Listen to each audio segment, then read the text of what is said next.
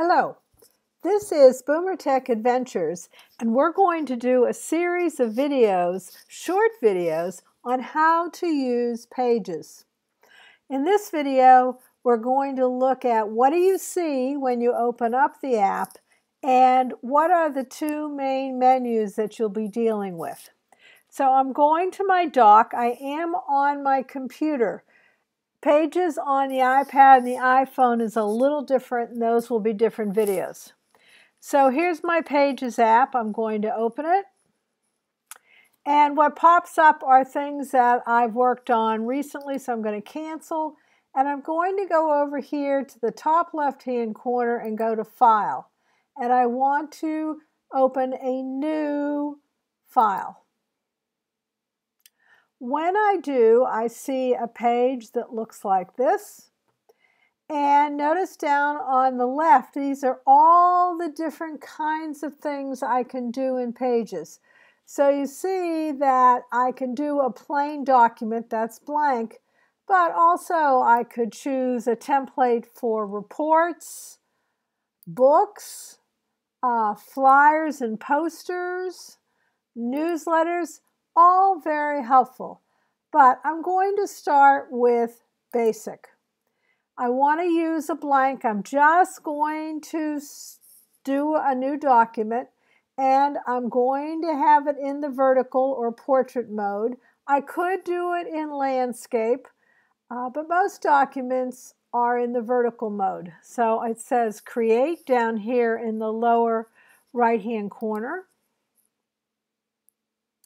All right, so here's my blank page for my document. Now there's a couple of things I want you to notice. Across the top there is a menu. And this looks different than what you see on Word if you're used to using Word. Some of the same elements are there, but they're also elsewhere. So first over on the left it says View. Well, what does that mean?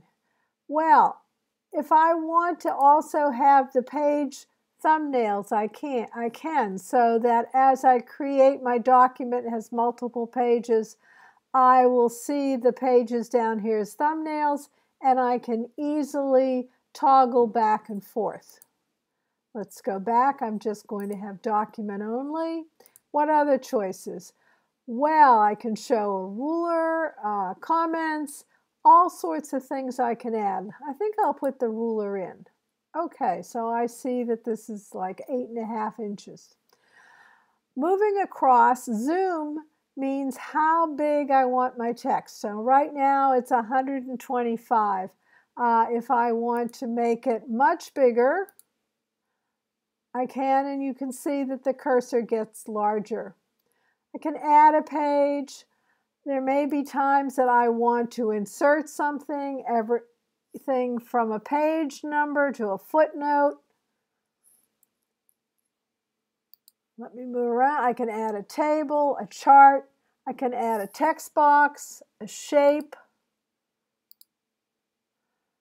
See, I can move it around, etc. Uh, I can add media like a movie or music, comments. The collaborate is interesting. If I want to share this with a colleague or a friend, I can put the I can tap on collaborate and you can see I can give them access through mail, messages, etc. We'll cancel that for now. And then we have format and document. Format is uh, opens up this particular menu down the right hand side. Notice it changes. See, I've got the box highlighted, but if I click out of that, it changes to what I will use for the font. So as I look at the right hand menu, you can see I can choose to be working as if it was the body of the document or if I want it larger print for the title, there are all these options. Now I'm on style. So here are my fonts. I've got a multitude of options. And even under the fonts, I have many options in how they'll look, everything from bold to italic, etc.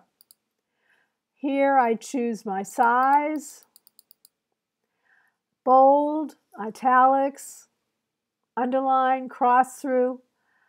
Uh, we'll skip character styles for now. That'll be another video. I can choose the color of the uh, text I want and uh, how I'm going to justify it to the left, in the center, right justified, both margins equal. And then there are more details down here like where to, uh, if you want to add bullets and lists, you have your options. Now those are the basics and that will get you started. So if I just click over here, let me hit format again, nothing selected. Well, I don't want anything selected. Ah, there we go. So I've got uh, Helvetica. I'm using regular and it's 17 points. So there we go. I've got it um, left justified, but I could center it or I could make sure that both margins on either side are okay. Now, over here, again, I'm looking at the uh, ruler. Now, the reason it looks all kind of off-center is because I have it at 200%. If I take this back to 125, you see it looks more normal.